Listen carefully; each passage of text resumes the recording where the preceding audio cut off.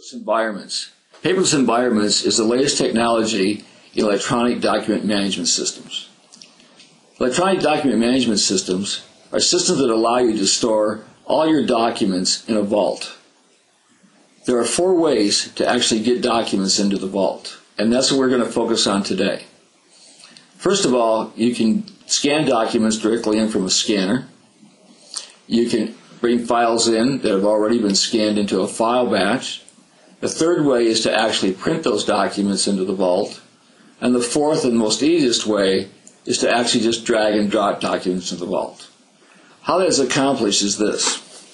To actually scan a document in, we click on our file batch document up here and a wizard will walk you through how to get the documents in. And it's a four-step wizard.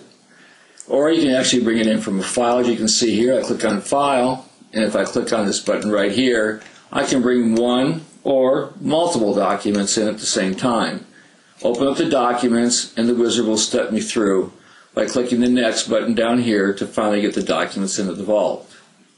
The third way is to be able to print from any application that you own that allows you to print from that application. Here, one of the more common ways would be, would be a Word document that I have on the screen. To get this document into the vault, you just merely need to go to File, click the, click the Print button, and Paperless has a print driver that we use, and if I click OK, it's going to walk me also through a wizard that will let me commit it to the vault. The last way to get the documents into the vault, probably the most easiest way, is to simply drag and drop your document onto the surface.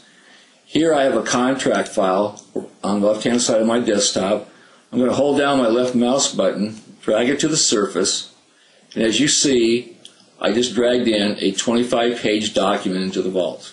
It's that easy.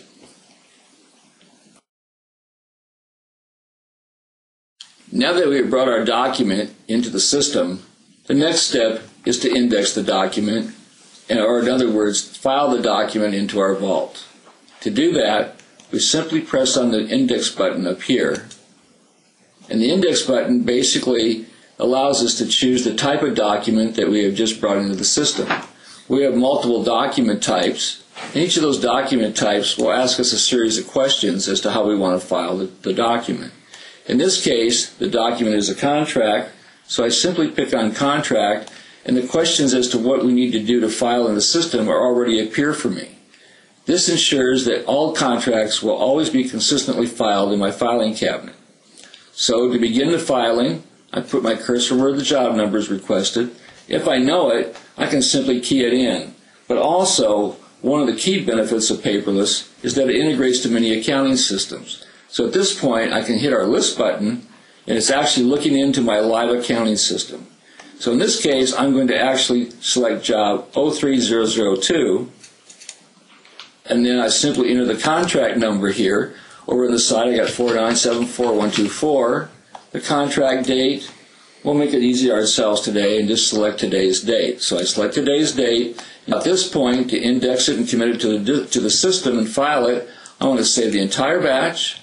I click on the index button, and my document is now safely stored inside my vault.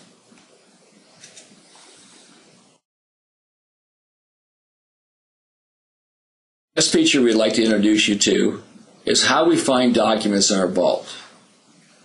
Finding documents in our vault is done in a matter of seconds compared to going to files in your paper systems and spending sometimes not only minutes, maybe hours, and possibly never finding the document at all. So let's take a look at how this works. I simply click on our search utility button up here and on the left-hand side of the screen, you can see that it has a list of all the documents that I have rights to to look in the system. I want to find a specific document for a specific job, or I want to find the purchase orders, all the purchase orders issued on a job.